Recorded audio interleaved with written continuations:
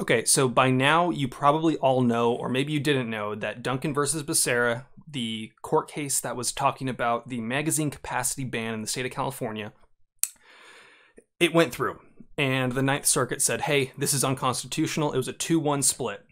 They said it's unconstitutional and that the opinion of the circuit judge, Judge Roger T. Benitez, still stands. Now, what does that mean? Well, Unfortunately, what that means is that the stay that Benitez put in place is in place. So, what does that mean? Let's talk about that today. But first, before I do that, I got to say a huge thank you to the California Rifle and Pistol Association. I'm actually to be donating a uh, hundred bucks to them. Uh, I usually make little donations here and there, but I'm to be making another small donation to the California Rifle and Pistol Association because they were the big organization that actually helped get this through and got us this small win this is actually a pretty big win, but I really do want to say thank you to the California Rifle and Pistol Association. I didn't make that clear enough in the first video that they were the ones that actually made this happen, and I wanted to refresh all of you again so you do know who to support. I also want to say thank you to Franklin Armory for sponsoring this channel. They've been a huge supporter. They're what makes me able to keep continually making these videos and making videos fast and quick and getting that information to you guys. So thank you to Franklin Armory. So, this stay, what actually happened? And what actually happened with the Ninth Circuit.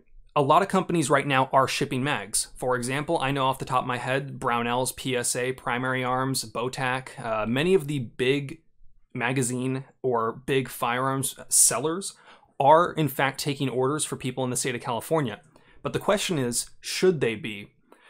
Personally, I am aware of the fact that companies will ship and they have had their lawyers look it over but when you look at what Firearms Policy Coalition and the other big firearms legal teams have said, the stay is still in effect. And now I got to read you a quick tweet from the Attorney General's communications manager.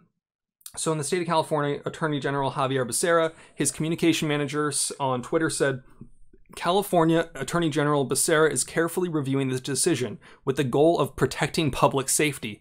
Keep in mind, until further court proceedings, the stay on the injunction issued by the district court remains in place. So, it's important for you to understand that just because they are shipping those mags to you, it might not be legal.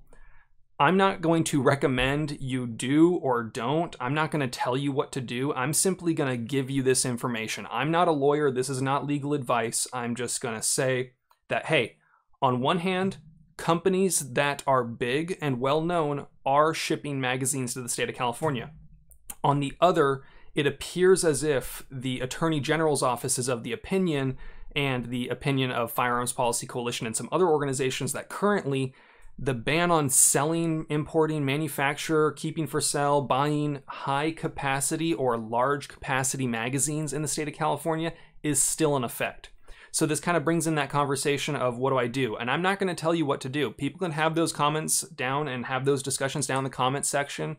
Um, but ultimately, I think it's important for you to understand that this is an ever evolving situation. Currently, today it is 1:10 p.m. on the 14th of August, and this information is relevant as of right now. By the time I even get this uploaded, things might change. So if you're curious about how to stay most up to date, I can't upload a video every single time there's a small update and I can't upload those videos as fast if I do. So if you want to stay up to date, follow me on Twitter, follow me on Instagram. Those are the best ways to keep up to date with what I'm saying. I might not always be available to make a video, but I can usually make a tweet. I can usually post on Instagram. So follow me there. If you have any questions, follow me there.